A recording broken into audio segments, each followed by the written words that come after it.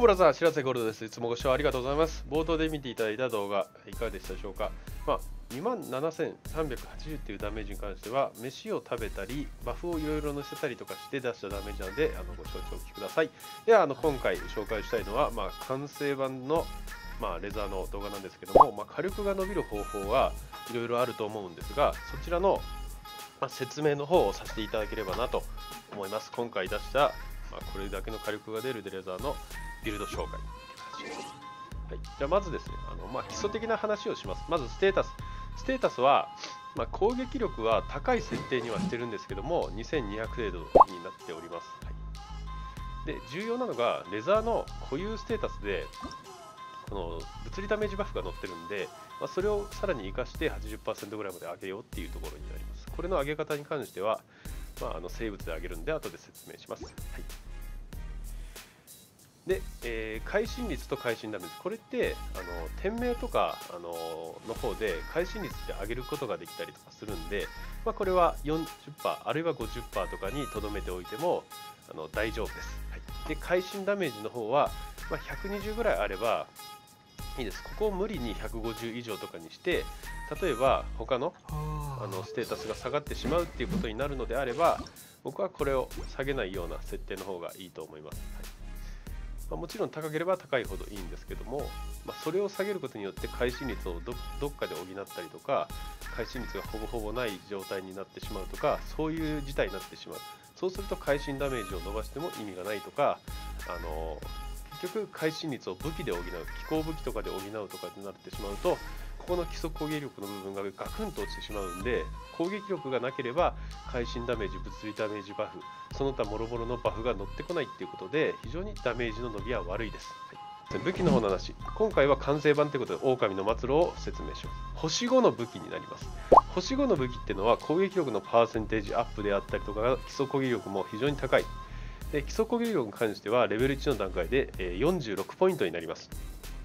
でそちら46っていうのはどれぐらいの数字かっていうと例えば金の剣星4の剣が42だとします。これって気候体験と同じ数字なんですけどもこれが直接そのままの微笑になります。レベル80になると大体80ポイントぐらいの差になります。基礎攻撃力だけで。プラス同じレベル80の星4の武器の攻撃力パーセンテージアップ。ここは25.1%これが45.3%になるんでこれぐらいの差が出てきてしまうということ。なので気候体験とかあの攻撃力が低い状態のものをさらに攻撃力パーセントつかない状態にしてしまう。ただ会心率上げたいんですよっていうことになるとあのなるんですけども会心率もこれ25.1%しか上がらないんですね。これって星5生異物の30%以上上がる星5生異物の冠部分の方をつけた方が伸びしろがいいんですね。で武器で上げれる星5 45.3これは生物で言ったらこの武器の、あのー、まあ、46.6と同じ同等になりますんでぶっちゃけ武器選びは非常に重要になってきます。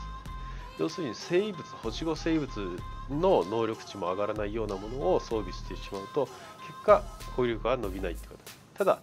あの非常に優秀な武器。旧貴族の体験の場合は基礎攻撃力は44なので非常に優秀なんでこれはお勧めしております。で生物。これは剣闘士のフィナーレっていうセットをつけてください。それなんでかっていうとけ、えー、両手剣の通常攻撃ダメージが35%上がるっていうこれも掛け算になってきますんで非常にこの攻撃力の伸びがいいっていうこと。あとはまあプラスして18%の2セット目。攻撃力上がるっていうのも魅力。でまずは、えー、冠冠 HP ですね。この全てにおいてサブステータスは攻撃力会心率会心ダメージがあのバランスよく乗ってるのが好ましいと私は思います。でこちらもあの羽は攻撃力固定なんで攻撃力。でこちらなんですけどもここは攻撃力にしてください。攻撃力が1箇所だけつきますこのビルドは。攻撃力パーセンテージですね。次、ここが重要で物理ダメージバフ58.3%ですね。はい、で、次なんですけども、ここは僕、会心率にしました。見てください。星5の会心率だと31.1%伸びます。はいまあ、これが何を意味するかというと、レベル80の気候体験の25.1%の伸びしろよりもあるし、まあ、バランスが良くなるってことと、このあの狼のあの末路を使うと、会心率を補うのがなかなか難しくなってしまうんで、まあ、ここの、ここであの補うと。もうこれの一択です。この会心率があの例えばこれだと3分の1の確率で当たるようになる。これだけでなるじゃないですか。あとは生物の源泉の方でちょいちょい上げていくっていう形でやってみてください。これがないと会心ダメージを伸ばしたところで意味がないと思います。意味がなくなってしまいます。例えば、えー、開始率が40%以上50%ある状態のもので叩けばだいぶ違うんですけども例えば会心率 10%20% しかない状態とかであれば会心ダメージがそれ5分の1の能力値になってしまったりするんで結局会心ダメージ150%に伸ばしたところで伸びしろはほとんどないです。で、えー、と次は、えー、星座。命の星座。これが物理。レザー物理と、まあ、非常に相性がいいの理由の一つですね。まずはレザーが戦い続けることによって敵が落とすオーブまたは粒子これをあの得得した時に8秒間与えるダメージが10%上がるんですね。今まで与えてたダメージにプラスして10%っていうあの書き方になるので非常にこれが強いです、まあ、1万ダメージとか与えてたとしたらそれにまたね10%上がるみたいなノリです。でこちら2突の状態の説明します。これが HP が30%以下の敵を攻撃すると会心率が上がるんですね。なので会心ダメージとの相性がいいキャラクターになるんです。店名を上げるだけで。でさっき言った狼の末路っていうのが 30%, 30以内の敵を戦うと攻撃力が50%上がったりとかするんですね。まあ精錬ランク2なんですけども。そうなってくるとまあ最後 HP の少ない相手に対してラストスパートをかけれるようなムーブができるようなちょっと面白いあのキャラクターでもあります。で次がこちら。ライガのスキル。これはあの狼になるスキルなんですけどこれがレベルプラス3されます。これは攻撃速度が上がったりするために非常に有用な能力。で次に物理レーザーたるゆえんこちらです。噛みつく。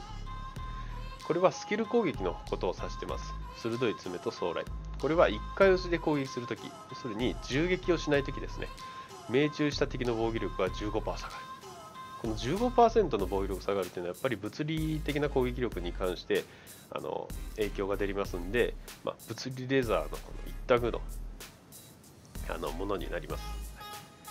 で他にも防御力を下げる要素っていうのが雷のレザー。体験キャラにはあります。これが間違いないのがガイアとの組み合わせの、えーとまあ、超伝導これは防御力40%下がります。ってことは55%噛みつくと組み合わせると下がるっていう形になって非常に攻撃力の伸びが優秀なあのキャラクターです。で鋭い爪これはあの壮来のスキルがまた上がる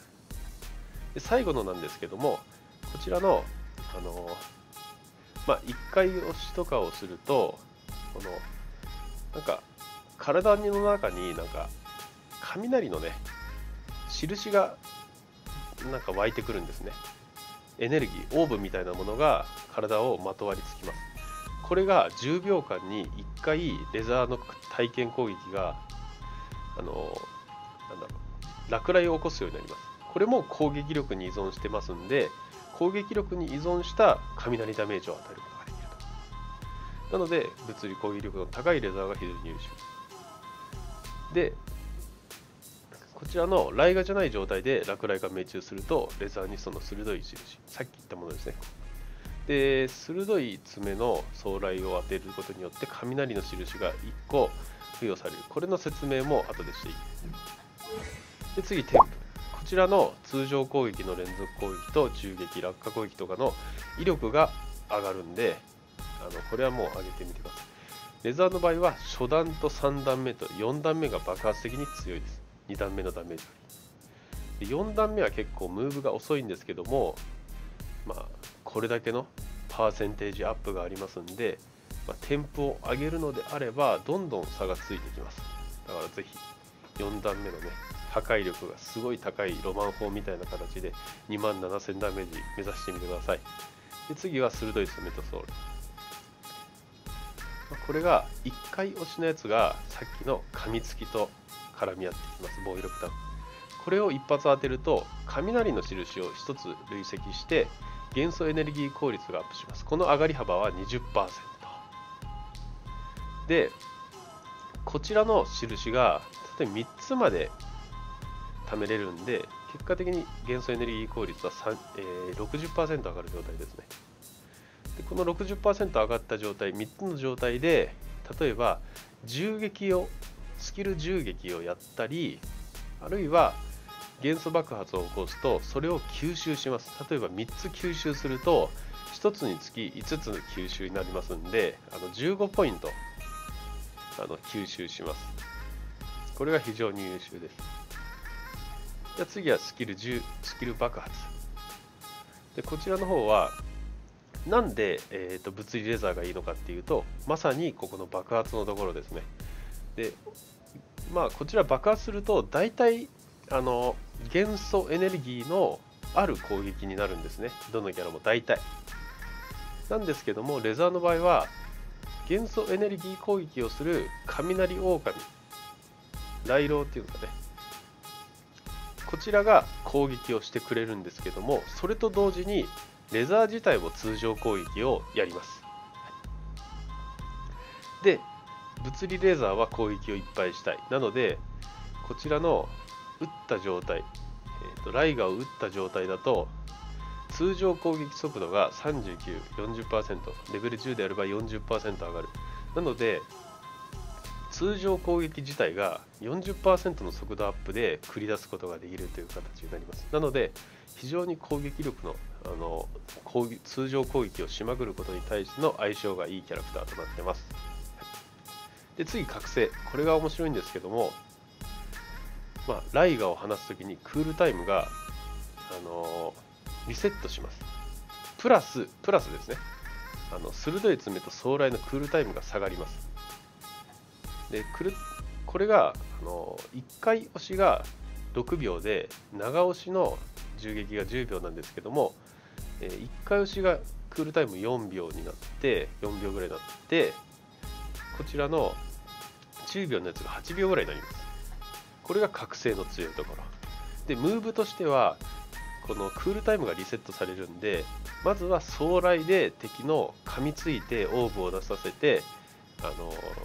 まあ、超電導をかましておいて、まあ、スキルがなくなります。その後にライガーを打ちます。ライガーを打ってスキルをクールタイムリセットしてもう一回こちらの壮来をぶち込んでオーブを出してもらうと。その後通常攻撃ガツガツガツってやってクールタイムがまたリセットされたりやるみたいな。そういう戦い方が非常に強い。でこちらの木がこれもすごくて元素エネルギーが50%以下の状態なら元素エネルギー回率回復率が30%上がる。これはすごいですよ。例えば元素爆発打った時に元素エネルギーが50以下に必ずなるじゃないですか。その時に、